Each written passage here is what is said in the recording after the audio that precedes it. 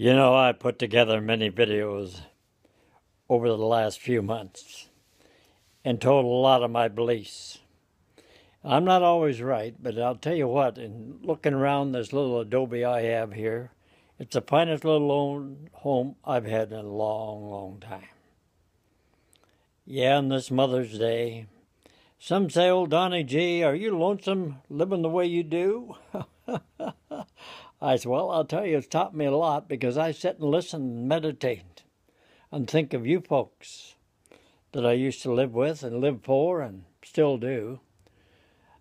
And I'll tell you what, I find the spirit within me coming alive that is just, uh, I can't even, I can't even imagine. I think of the world past when I was in Korea, and my brothers too and the National Guard was called in.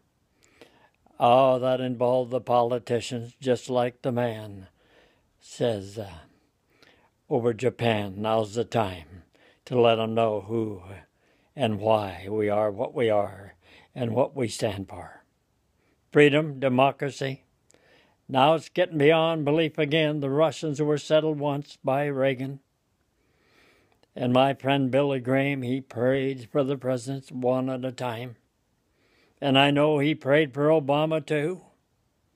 I hope and pray in the body of mine, which is the body of He that created to be as I am. In earnest, fervent prayer, I ask the Father God, yes, you folks on Mother's Day, take a breath be thankful we still have freedom here in this country. And pray to Father God this evening for the vets that have gone before and left the widows that have no one other than their children in need today in a mixed up world and society worldwide. Because of who? Oh, yes. God has the answers. You senators and politicians alike, congressmen or whoever, citywide, nationwide, go to God and let Him decide the future of this world catastrophes today.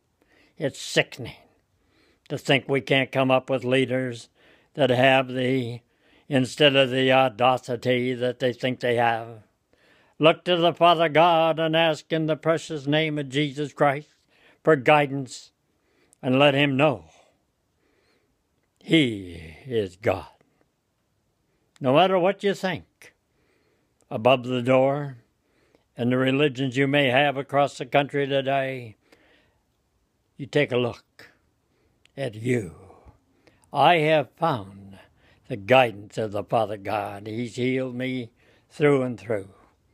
In saying that, I'll be back a little later after I have my breakfast, lunch, because I've been fasting and seeking the Father's God's guidance to tell me what I am and what I can be.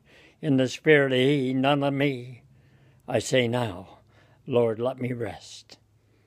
You folks pray for me as I pray for you in this catastrophic world today. It's hard to me, and it's harder to see the children growing in a world like this. I say now, Amen. I love my Father God the most. Happy Mother's Day, you ladies. Pray for me and the kids and yourself today. Amen. Amen again.